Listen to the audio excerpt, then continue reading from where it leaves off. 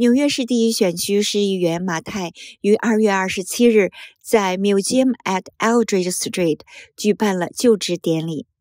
参议院多数党领袖 Chuck Schumer、国会众议员 Jerry Nadler、Caroline Maloney、Adriano Espaillat、州参议员 Brand Hellman、州众议员牛玉林、市主计长 Brand Lander、曼哈顿区长 Mark Levin。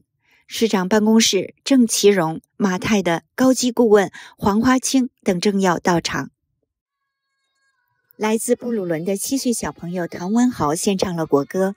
之后，马太向法官 Adam Salvera 宣誓就职。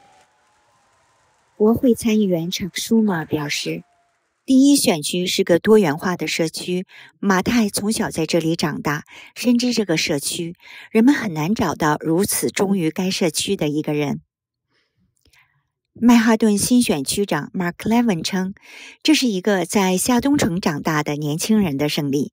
在过去的七年里，马太做了很多努力，为社区做了很多事情。”马太说：“这次赢得选举是因为团结了所有社区。虽然刚开始工作两个月左右，但是已经有了一些进展。” Congratulations on being elected. uh, as the council member. Thank you so much. yes, uh, uh, so proud of you. Thank you. Yes, so uh, since uh, you took the office, it's Yeah. two months Yep. so far. Yes, tell us what's your plan to fulfill your uh, commitment to this Yeah. important position. Thank you, thank you. Well, none of my commitments are due. You know, the main thing we wanted to focus on was stopping the Chinatown jail, passing Right. the Chinatown working group, and protecting workers' rights.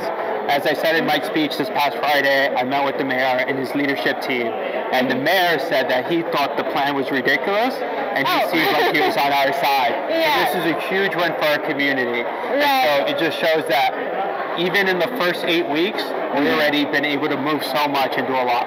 That's right. Yeah. So you just proposed a bill to protect the delivery uh, workers. Yeah. So tell us a little more about it. Yeah, you know, whenever you go uh, anywhere in New York City, you see Yeah. a lot of delivery workers on their e-bikes going on the sidewalk, passing through traffic red lights, really creating a dangerous situation for, Right. for quality of life. And mm-hmm. so what we want to make sure is that we protect the workers because right now they have to rush from these 15-minute delivery apps and do a delivery within 15 minutes.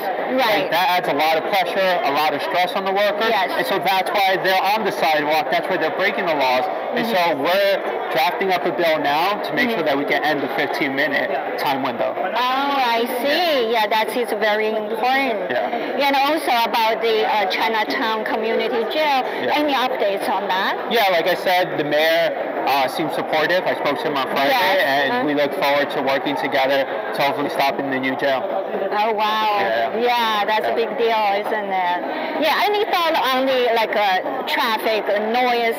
A lot of noise and motorcycles. Anything about those? Yeah, so we're, I know my fellow council members have a bill out uh, to track the noise and maybe issue tickets on if noise is too loud. Right. Um, and so we'll, we'll keep on working on that. Yeah, it would be hard on the people Yeah. who live by, you know, Exactly. close to the roads. Yes. Awesome. Well, yeah, great job, and Yeah. thank you so much for this interview. Yeah, Good luck. And thank you so much. Have a good day. You too. Bye. Bye.